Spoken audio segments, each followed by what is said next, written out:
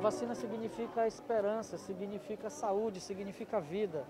Nós somos gratos ao, ao governo federal que nos, nos oportuniza estarmos aqui vacinando. E a prefeitura está fazendo a sua parte, montando toda uma estrutura, colocando aqui carros à disposição dos idosos que não têm o seu transporte para voltar para casa, com toda uma equipe aqui é, disponível para poder fazer a vacinação do maior número de pessoas possíveis. Hoje, com um número muito grande de profissionais da saúde que estão vindo para cá também. Fico muito feliz em saber que minha mãe já foi vacinada, entendeu? É menos, um, é menos uma preocupação.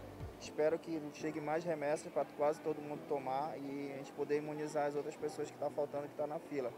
Isso é muito importante. Eu acredito que hoje nós vamos ter um número recorde de vacinações aqui no Centro Cultural dos Povos da Amazônia, bem como em todos os centros de vacinação da Prefeitura.